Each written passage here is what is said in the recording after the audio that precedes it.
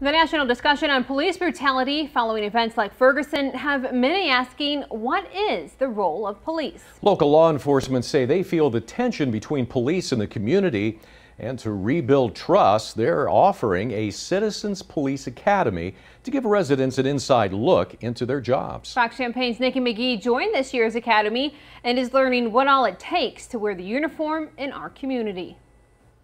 Over the last five weeks, I've gotten an inside look at how local police are trained to deal with everything from drug busts to riots. I also learned about the distrust of police that exists in our own community. Some people are taking the class for that reason. Ferguson, Freddie Gray, Tamir Rice, situations that have brought into question the role of police in society and have sparked concern around the country. I think Ferguson just made it well known what was happening and also, I think Ferguson possibly made it known how angry African American people are. Uh, I don't believe we handled it the right way, but at the same time, I saw what I saw on TV was they were um, looting and destroying things. They weren't hurting people. You know, in most cases, you see people killing other people, hurting other people when they get angry like that. But they took their anger out on, you know, items, things, not people.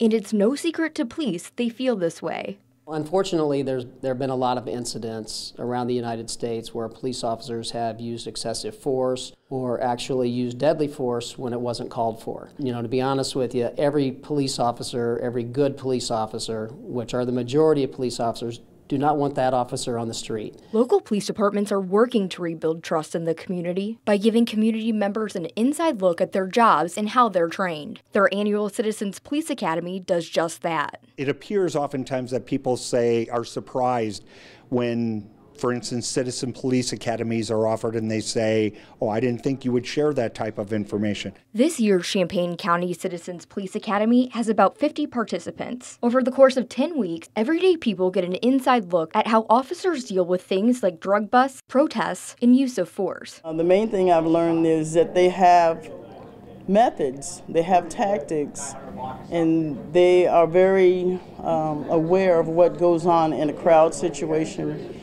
or in a situation that they possibly have come upon, how they should handle it. There's rules, there's steps that they must take, you know, because they must ensure the rights of the people and they must also pr protect the people. Some taking the class hope to go a step further. I want to be in law enforcement. I want to be able to help people. I've been told that um, I'm the go-to guy. We, if anyone ever needs anything, I'll go ahead, and call him. He'll be able to fix it or help out as much as I can. Academy Director Mike Schlosser says when he trains officers, almost all say they want to help people or be a public servant, something he hopes the community will see through this class and think about when they see stories about cops behaving badly. Participants say repairing the relationship between police and the community won't happen overnight but the Police Academy is a step in the right direction. If you'd like to get an inside look at local policing, you can apply for the Champaign County Citizens Police Academy, which will take place again next spring. You can call your local police department to do that. From the studio, I'm Nikki McGee, Fox Champaign News at 9.